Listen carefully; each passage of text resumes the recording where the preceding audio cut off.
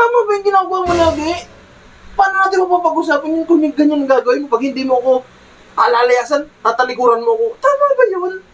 Kaya nga dapat pinag-uusapan eh. Tapos pag ano, galit ka. O, pag galit ako, sinasabayan mo, eh, paano natin masaresolve yung problema kung ganyan ka lagi? Ganyang style ang nakakainit ang ulo eh. Katrina, hindi, hindi, hindi naman ako galit. Kaya nakakainit ng ulo eh. Parang, halos lagi-lagi na lang ganyan. Nakakasawa baga. Yun ako, kung ganyan ka ng ganyan, Katrina, eh, bahala ka na sa buhay mo. Eh, Oh, anong gusto mo mangyari ngayon? bahala ka, alis na lang ako. Papalamit na lang ako. Kaysa ganito, Ewan ko sa'yo. Ang dami mo sabi lang. Sayang ka na naman eh. Lagi ka na lang ganyan. Lagi ka na lang galit. Wala namang ginagawa mo sa mga sa iyo. Tapos, pagka... Ayan, tingnan mo ginagawa mo. Oh, oh di ba? Dinalayasan mo ko pag kinakausap kita. Oh, Eh, paano wala? Di ko, di ko na alam. Lagi na lang akong mali sa'yo eh. Wala na akong ginawang tama. ano mo? Eh, yan ano ka na, Katrina? Ikaw na nga itong laging galit sa akin. Tapos sasabihin mo, ikaw po yung la... Wala naman akong ginagawang mali sa'yo. Tapos sabihin mo, ikaw ba yung mali? Ano yun? Grabe ka naman. Tama ba yung ginagawa mo lagi? Paano natin mapapag-usapan yun kung yung ganyan gagawin mo? Pag hindi mo ako alalayasan, tatalikuran mo ako. Tama ba yun? Kaya nga dapat pinag-uusapan eh. Tapos pag ano, galit ka.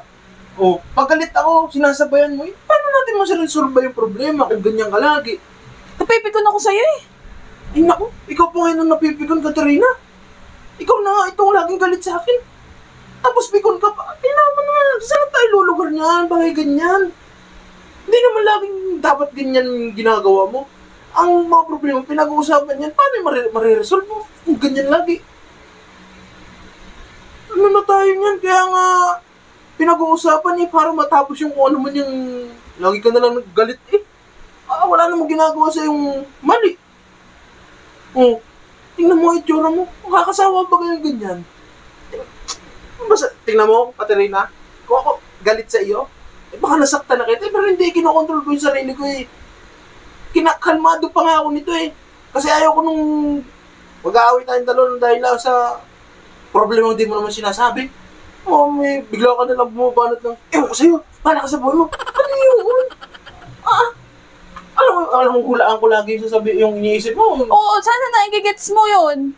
Hindi yung kailangan lagi na lang iduduol sa'yo kung... Ay, naka, anong katilay na manghuhula? Ano ka na? Ba't, ba't ganyan yan ang mindset mo? Kung may problema ka sabihin mo, para tapos agad mo.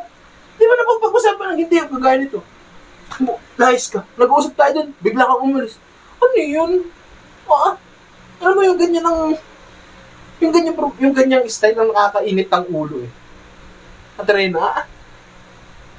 Hindi, hindi, hindi naman ako galit. Kaya lang, nakakainit ng ulo eh. Parang halos lagi-lagi na lang ganyan. Nakakasawa baga. Yun ako, kung ganyan ka ng ganyan Katrina, eh, bahala ka na sa buhay mo. Eh, Oh, anong gusto mo mangyari ngayon? Bahala ka, alis na lang ako. Papalamig na lang ako. Kisa, kisa ganito. Oh, kasi, ang naiinis na ako, ay kung hanggang tagpag tuloy-tuloy ito, magalit ako, ayun mangyayari. Mag-aawit tayo ng sobra. Oh, eh, bahala ka, mag, papalamig na lang ako. Oh, ngayon, ikaw naman ngayon ang aalis. Eh, kaysa nga ganito, hindi ka naman umihimik. Tinatanong kita ng problema, hindi ka umihimik. Oh, ay di ako na lang magpapalamig. Kaysa mag-away tayo. Hmm, mas maganda pa yun. Bahala ka dyan. Ano ko sa'yo?